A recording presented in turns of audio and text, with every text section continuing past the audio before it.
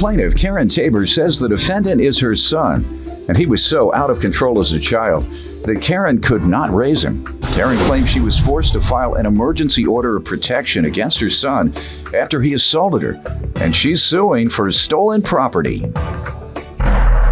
Defendant Chris Klingenstein says he had an extremely rough childhood because Karen's an alcoholic and he was forced to grow up in foster care. Chris denies stealing from his mother, and he's countersuing for rent, hotel bills, and emotional distress. Start with you. Um, I'm here because uh, this is my son, Chris. I raised him till, I till he was about 10 years old. Um, when I remarried, uh, my husband and him did not get along. Uh, he went to live with his father, and he was awarded to the state. They couldn't take care of him because he was an out of control child. He was always in trouble. You couldn't either?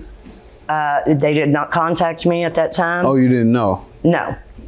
And he, uh, when he, he was, he started fires when he How was often were you in, in touch with him? Well, when he went to live with his father, um, you know, they moved away and I had no contact.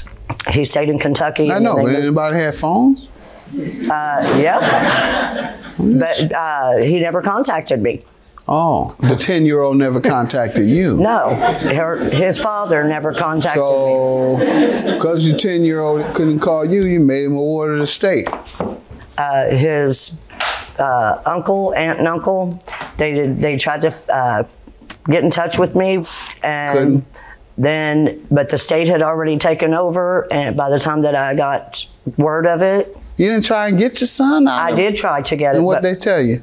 my husband, uh, we had a, a daughter together, and he had, we had custody of two other children from his previous marriage. So you didn't want the headache. No, All right. So the daughter, happy. you all have a daughter together? Your husband and you? she's 25. Oh, okay. Let me hear from you, sir. Um, the daughter she speaks of is actually one of my witnesses right here. She's actually on my side. Um, the, the reason for that is because she also gave up her rights to her daughter. I have legal documentation that says she also gave up her rights to her daughter. Is that you, ma'am? Ma'am? Ma'am? Ma'am? Yes. No, I didn't give up legal rights to my daughter. And The reason why she gave up legal rights to her daughter, Your Honor, is because Maybe she's an alcoholic. I got the wrong person here. Your name Karen Tabor? it is. That's It is. absolutely what you did. And I don't know what documents those are, but Oh, sworn affidavits from Oh, the okay. courts. from the courts. No, I have divorce papers that state what I. Uh, Good enough, man. Your Honor, my mother's an alcoholic. You give me some background. Oh, okay. How long has she been an alcoholic? All of her life. I was in foster care all my life. Um, I was adopted at age 13 um, by a very good family um, who took care of me. They're still in my life to this day. Um, I consider them my actual mother and father. They take care of me. Um, I have had,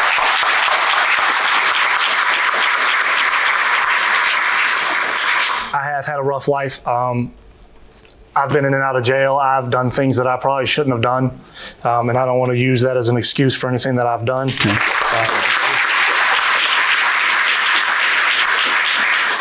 also, I have um, DUI paperwork from where she's been arrested twice in the past year for DUIs. Ma'am, you have an alcohol problem? I do drink, but I maintain my employment and my uh, bills. I can and disagree with that I as do well. have a, a, a steady job history, What about these uh, and driving it doesn't on affect there? my work. No, Uh, it does affect your driving, obviously. that's it. Huh? That's it. That's it. Like that's not a bad thing. I mean, thing. huh? no, it is. That's I mean, that's I'm the not least saying of things, huh? that, you know- when you risk other people's lives. First of all, you give your kids away because you don't want to take care of them, and now you're out here drunk driving, risking other people's lives. You're the worst. Go ahead, tell me what else. If you know all this, why would you come here? Why would you come to my court if you knew he was going to say all this and he was going to be able to prove Because it a lot and of that it, you were uh, going to get tongue twisted when I asked you about raising your kids and how they ended up in uh, foster care? Uh, your sister want to speak before we get back into the stolen property? I'm sure she Um, would, Your Honor. Ma'am, state your name. My name is Amber Blevins. I'm 25. My mother, um, She gave me up twice, actually. No. The, the first time was when her and my father were divorced, but I don't actually have the documentation with me today to prove that. But That's a lie. the the second time was when I was 16. I did go to Job Corps. Um, I lived on campus and had a dorm. I had plenty of friends there. Um, I wasn't even aware that m- my mother gave up custody of me until a week and a half ago. I believe. No one gave up custody of when you. I when I got that paperwork. Thank God you're doing all right. You look like a healthy, well uh, maintained young lady. Good. Good to hear that. She's not anything else before we get to the property? And you want to say anything else? Stolen property. What did they? may I- what did he do? Can I, can I say Sure, come right up. Okay. State your name. something? Okay. State Um, your name. uh, Brenda Box. Okay. The thing Amber said about her mom giving her up and her other uh, son, Amber's gave up both of her kids too.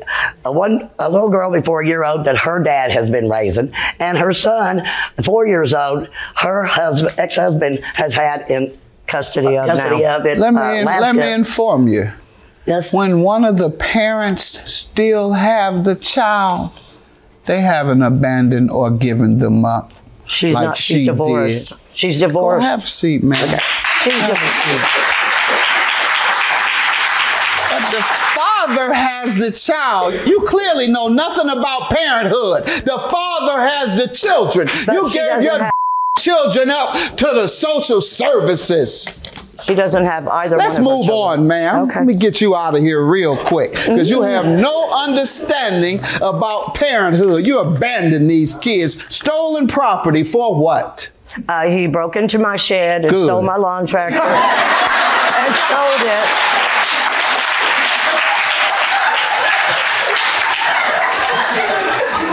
I have pictures. I have EPOs. I have. Give me your he- police report where you me. filed a police report about him stealing. That's what you're here for today. Stealing Okay. property. Do you He's have that?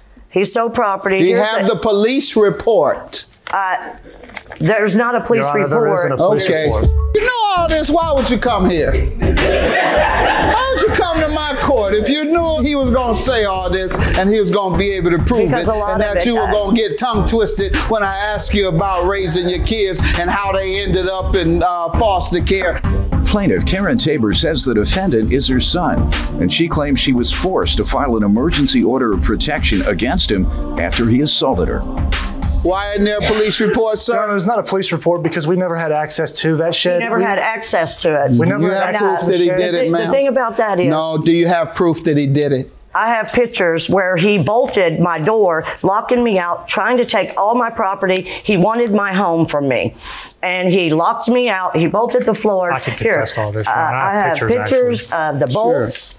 I have statements of the locks that he changed the locks, locked me out of my house. He was supposed to move in and help me pay my bills because I had other obligations as far as my DUI. And You have what you want. and then uh, As he said he would help pay the bills if I would allow him. He didn't have a place to live. He was All homeless. right, and I allowed him to move into my home. And he said he would help. All and then I have a statement also from my landlord that he was not allowed. Today you're suing him for change the stolen locks. property. Do you have any evidence or a police report? When people steal from you, you call the Uh, police. yes, sir. Here's, have uh, that? I have statements from my sister. Man, one more time. Not this Do you one. have anything from the police where no, you filed because I report? was not allowed at the property because of the EPO. You don't have to be on the property to talk to the police. The police live on the property. Uh, I, on August 1st, I filed an EPO on my son because he Man, assaulted we're me. talking about him stealing. You're suing him about stealing stolen property. Why didn't you report it to the police? because I had an EPO on me and I could not get in my shed. I didn't know it until after we got evicted and I got. Why didn't you go to the police then? Because I already filed a small claim and when I filed an EPO, the next day he went and filed a counter EPO. There is my EPO on August 1st. There's his EPO out of retaliation on August 2nd. Uh, and then we were both do not you allowed. want to talk about and try and prove the stolen property you are here for? Here's my statements. Sir, And here's a copy of Go my, ahead, sir. What do you want to tell me? my long the tractor same- that was Ma'am, that's stolen enough. out of Please my- let him talk. Please let him talk. The same EPOs that she's talking about are the same EPOs that we have filed on our mother as well. She's also filed an EPO on her own mother because her own mother threatened to blow up her house. Um, so there's actually documentation Let of that if you'd like to see that. These are actually, That's a lie. All those are actually legal. You have anything to say won't. about the stolen property? she Nobody even you knew where for? she Sir, lived. I, Your Honor, I've never been in the shed. I didn't have a key to the shed. She is the only person who had a key Good to enough, shed. and she has absolutely no evidence that you were. Uh, and f- now your counterclaim, sir, for rent, hotel bills, and emotional distress. Yes, sir. Um, I moved into the house on 616. Um, the only way that I could move into this house is if I help her pay her back rent, which she owed $1,071.39. Back rent. Yes, she was That's a behind in rent. This is the one receipt. I don't have the actual copy. She copy. said of it's a lie, but go ahead. I, that's a lie. and then, You what? That is a lie. Okay. and Go ahead. then the um, also, I also have another receipt from where I paid another $471 of her back rent. Let's see it, please. And there's the other one. Yep. But during that month and a half that we lived there, it has been absolute hell. I have where she's broken into my house while I was living there. She's mm-hmm. actually kicked in the front door. Um, The hotel bill. How does she owe I you have for this. that? Well, because of the fact of us getting evicted, because of all the time she's been to the house at 1:30 a.m. drunk, trying to kick in the door. Um, my girlfriend right here, That's my fiance, has actually been there. What do you One- have to prove that's why you were evicted? I was at Uh, actually, I have the uh, order of eviction right Does it here. make reference to why? yes, sir, it does on Let's this see. page right there. Is that the eviction notice? Because I had Because that. of all the violence and disturbance, I am ordering you all to evacuate the property. And that's actually, if you turn to the front, that's actually a legal court And- document as well. I also have a statement stating that the house was never rented to him, and he only helped, he only let him move in to help me pay my bills And if you look So at he and put- to live there. And if you look at It has hotel, both your names on it. This is a good. It has uh, both. I'm, I'm looking at this one. Okay. Sorry. No more of your nonsense. All that's over. And I also have a- Judgment for the counterclaimant. You've proven your case, sir. Ma'am, you seem like you have a severe alcohol problem. I say, how about these drunk driving cases? Well, yeah, who cares?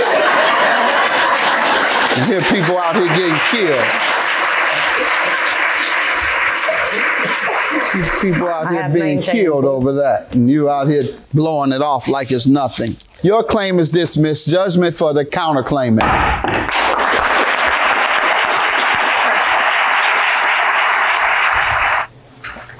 You lie about all have anything to say. Chris. I don't have And, bo- to and you too, Amber. You Paperwork two both explains lie. everything. You give up both of your children, You need and you treatment for your can't point alcohol fingers. Paperwork is evidence. That's all it is. You know what? You better be lucky Just you keep got drinking. that because you don't have enough. You have anything you just Keep your drinking. Don't have no more kids. y'all. You start Hey, both I of you can't got have no more kids, and I don't want any kids if they're any. Amber, like you got- you're don't a want thief you. and she's a thief. You stole both your mother's vehicles, her whole What did the purse. judge say? It doesn't matter. It's still lies. You all's good at it.